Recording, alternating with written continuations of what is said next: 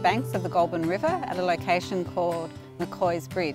We're here today to uh, monitor the vegetation on the banks as part of the long-term intervention monitoring program.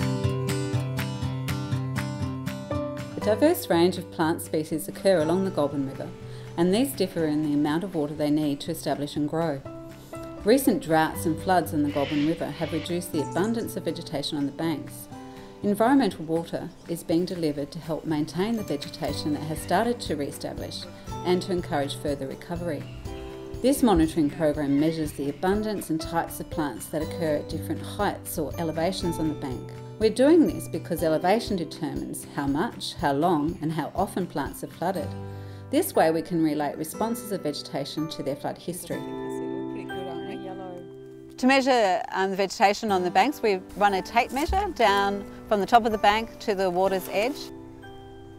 At eight, we've got bare ground but also a, um, a seedling. We really record the percentage cover of um, the ground layer, the mid-story and, and the canopy at every point along that tape measure to get an estimate of the percent cover of different species, but also how much litter is on the ground and whether there's any new seedlings coming up.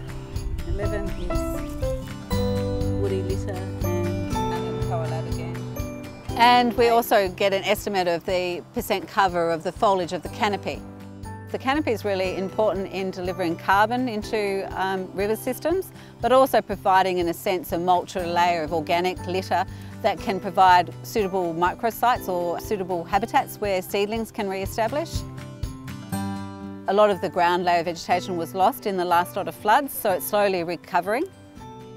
Vegetation play a really important role in aquatic ecosystems. They can help reduce the sediments that enter the river.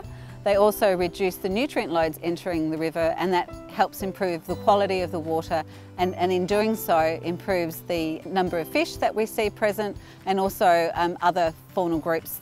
The other thing they do, which is particularly important in this system, is they stabilise the soil and that can prevent erosion. The monitoring of vegetation is um, being undertaken through the Arthur Rylah Institute for Environmental Research in collaboration with the Goulburn Broken CMA.